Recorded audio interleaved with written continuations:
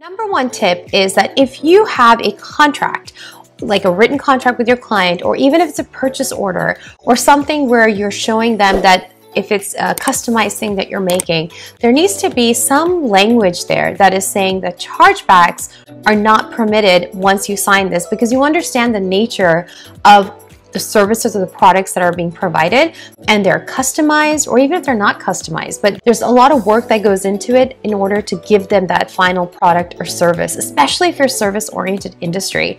There's a lot of event planners photographers the event professionals in general who ended up getting a lot of chargebacks because either something was canceled or they couldn't deliver the entire package because of covid especially and so a lot of chargebacks were happening, and then the chargeback was for the entire amount. And I know as professionals in service industry that there's a lot of work that goes on behind the scenes before the final product is actually provided and delivered to your customer. And so a lot of times you're like, I want to get compensated for that. Even if I don't get the final product, I can definitely get compensation for the work that we have done. But what happens with chargebacks is that you don't get that compensation. Everything is given back generally to the consumer.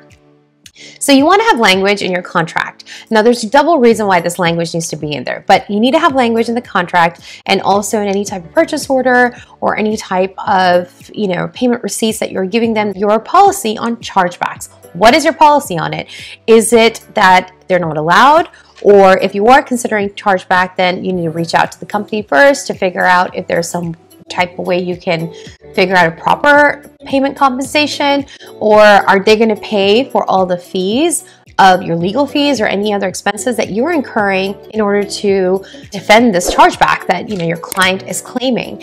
And so you want to be able to have that language, your policy on chargebacks in your contracts and in your purchase orders also because it helps the future when it does happen. It gives notice to your consumer, that's what I mean by that. Like you're letting them know that hey, this is our policy on chargebacks and you're agreeing to it when you sign this contract. And that's what the whole point is that they're agreeing to these policies. They're agreeing to the way you are running your business and they're okay with it. So they're signing that or they're agreeing to it by purchasing it and moving forward. So that's notice and it's showing agreement also. But then later on, it shows evidence that you do have a policy and your client, this person that is now asking for a chargeback, knew about this policy, they agreed to the policy, and here's your evidence for the policy as well. And so you need to have it in writing it's really helpful. Now, number two with the chargebacks is that maybe your payment plan needs to be a little bit different. Maybe you take payments in a divided form rather than a lump sum in the front or at the end of the services. And so what happens is that at least when you have a payment plan system, there's partial money that is being considered as compensation for the work that you have already done or compensation for a booking of a date that is being reserved for a certain person and a client and you're not giving it that booking or date to anybody else. And so you can take an advance that is non-refundable and that needs to be in your contract again or in language that is obviously apparent to your consumer whether it's on your website or whether it's in their receipt or whatever. But there needs to be language where, again, they're getting notice, they're agreeing to it, and it's showing that we are taking an advance because we are reserving the spot for you and nobody else can take that spot. And so we're missing out on all potential clients and potential revenue that could be coming in on a future date because we're giving it to you. And so that is called consideration and it is justifiable. But again, you cannot justify by taking 80% of the amount because then you have to think about well, was that really a consideration? Or is that just a lot of money that you're taking up front. So take an amount that seems reasonable. Take an amount that seems justified because courts do look at that and they may not think 80% is reasonable, but they might think 30% is reasonable. So look at your industry, look at the kind of work that you're doing, look at the reservation that you're doing and you know how the time block that you're doing for your customer or your client and see what's reasonable and what's reasonable in your mind and where you would be okay paying if you were the client in that position. So have like a payment plan that kind of covers these issues. So you're not feeling a super dent if there is a chargeback. Now, when it comes to the time of the chargeback and you've gotten notice from the credit card company that hey somebody's charging back. Have your paperwork available. Have it ready to go.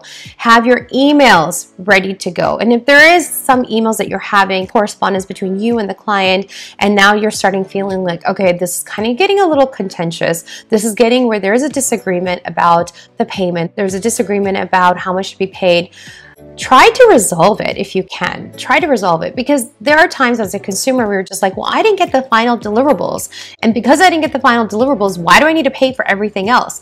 But there's no understanding that everything else might be that you have worked hard, you have prepared, you have put in some hours into it. So think about a compensation you know a settlement with your client where you feel that you're getting compensated for the amount of work that you've done but you're also giving them a fair deal. And then put that in writing where they're agreeing to it. And so therefore they won't go back and still do the chargeback even though they've agreed to it right? So have that agreement between you and your client if you are coming to some sort of settlement where there is some compensation coming to you and there's some type of refund coming to them. Have it in writing that there's this agreement that is happening. And then later on, when you are protecting yourself and defending this chargeback, you can take all of this information, take all of the documents, take all of the emails, take the agreements that they signed, take your purchase order, and you send it as a package. And you tell the credit card company, hey, listen, this wasn't something that was a surprise. This was something that they knew about. They had noticed, they agreed to it, and here you go. Now, I can't promise you any results, but what I can say is that you are prepared.